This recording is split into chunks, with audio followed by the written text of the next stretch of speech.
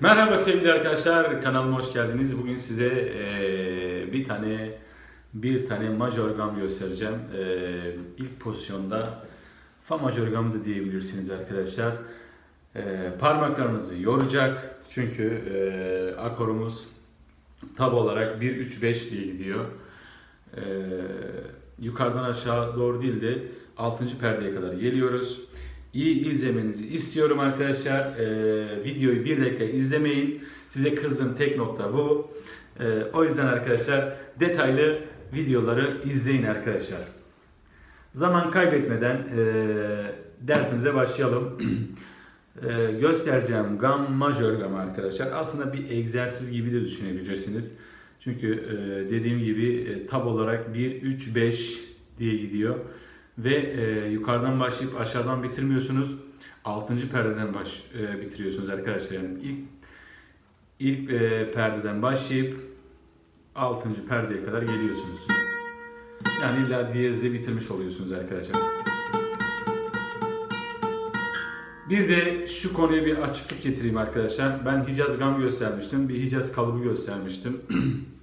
Şimdi ben genelde Hicaz e, kalıbı hani en kolayısı, e, kolay olanı göstermiştim.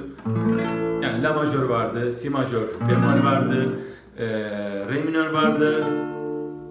Biz buna Do majör de ekleyebiliriz. Re majör de ekleyebiliriz. Bu tamamen isteğe bağlı arkadaşlar. Gidişata bağlı. E, ama benim burada söylediğim e, bir e, akor ismi vardı. Şimdi bunu farklı anlayan arkadaşlar var. Ona da açıklık getireyim. Benim bildiğim, e, genelde benim hep söylediğim e, Hicaz kalıpta misal La majör yaptım, e, Si majör yaptım, işte Re minör yaptım, Si majör yaptım, La majör yapmadan önce Sol minör. Ben buna arıza diyorum arkadaşlar ama tabii ki bundan natürel Sol minör akorudur. Yani diyezi bemolü yoktur ama e, deyim olarak arıza denir. E, ben bununla ilgili buna da bir açıklık getireyim. E, aklınıza bulunsun. Tekrar la majör yapıyoruz. Yani şu.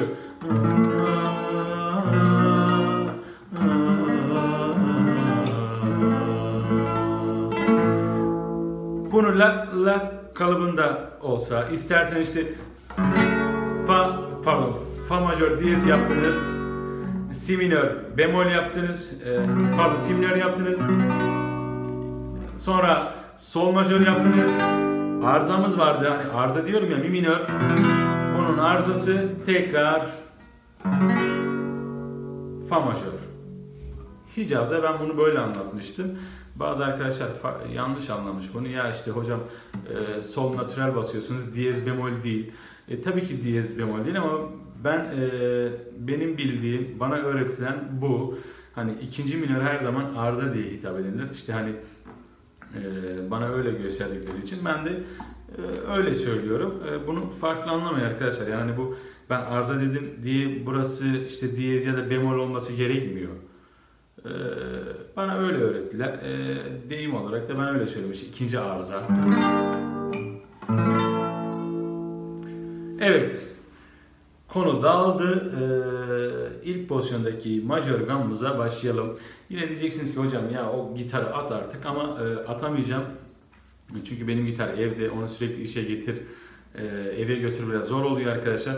Bununla biz idare edeceğiz. Siz sese takılmayın. Sadece gamı çözün. E, hemen başlıyorum arkadaşlar. Tab olarak söyleyeceğim. 1 3 5 Parmaklar baya bir açılacak. Bunu çalışın bol bol. Tekrar yapıyorum. 1 3 5 La teline iniyorum. 1 3 5 Re teline iniyorum. 2 3 5 Sol teline iniyorum. 2 3 5 Si teline iniyorum arkadaşlar. 3 5 6 Mi teline iniyorum. 3 5 6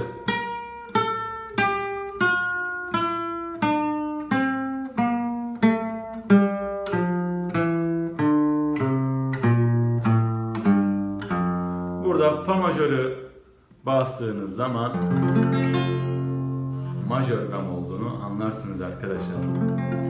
Diyelim biz burada La diyeze ya da si bemolle bitirdik. Altıncı perde. Deneyelim tekrar.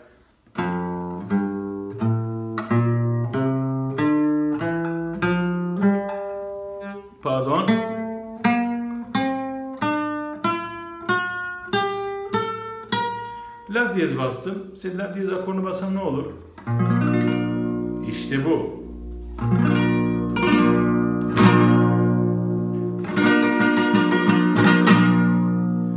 Bir de arkadaşlar e, gamı ben anlattım. Siz anladınız. E, tekrarlamama gerek yok. E, bir not defterine yazın bunu. Bu gamı çalışın. İlk pozisyonda çalışın arkadaşlar. Parmaklarınız iyice açılacak. İlk başta e, zorlanacaktır. Çünkü 1, 3, 5 bakın parmak nereye geliyor. E, hem da dolaşmış oluyorsunuz. 6. perdede bitirmiş oluyorsunuz. Bu gamı bol bol çalışın arkadaşlar. E, bir de size bir tavsiye arpej atan arkadaşlar işte ne bileyim ritim atan arkadaşlar parmaklarınızı böyle yapıp ritim atmayın. Şu parmağınızı açmaya çalışın. Ya şu parmak hatta bunu genelde biraz kırarlar böyle. Kırılır zamanla parmak. Ben çok denedim de kıramadım arkadaşlar. Size tavsiyem parmaklarınızı rahat bırakın. Yani kasmadan. Şimdi böyle arpej atamazsınız. Yani böyle kasarak şey yapamazsınız. Yani bu parmak eğer arpej atacaksanız ya da e, üçleme yapacaksanız bu parmak şöyle durması lazım. Yani şu. Yani rahat bırakın arkadaşlar.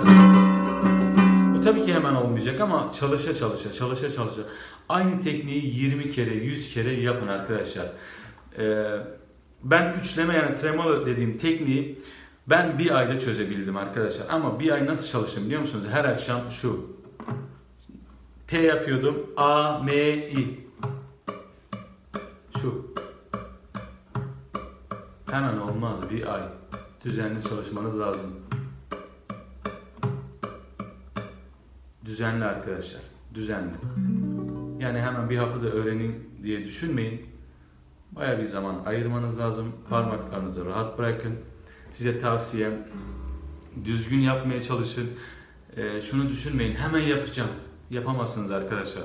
Bu bir gerçek. Çünkü e, gerçekten hani hemen yapacağım e, dendiği zaman, düşündüğünüz, e, düşündüğünüz zaman arkadaşlar başarılı olamıyorsunuz. O yüzden biraz emek vermeniz lazım. Parmaklarınız yorulması gerekiyor.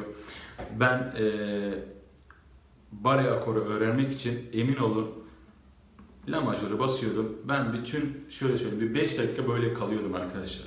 Şu gitarla 5 5 dakika böyle geziyordum. Hatta evde annem kızardı oğlum sen ne yapıyorsun diye. Ama maksat burada şu parmaklarımı bareye alıştırmak. Yani o yüzden bol bol emek vermeniz lazım. Hemen olmaz.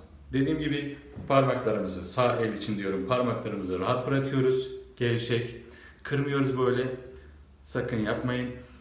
Ee, sola atmak istiyorsanız, akorlarınızı rahat basmak istiyorsanız destek parmağınızı şu şekilde tutun arkadaşlar. Size tavsiye. Kasmadan avucunuzun içinde yumurta varmış gibi tutun. Sola atarken de, e, akor basarken de. Kasmadan yani şu parmak kırmayın şöyle. Size tavsiyem bu. Dersleri bol bol izleyin.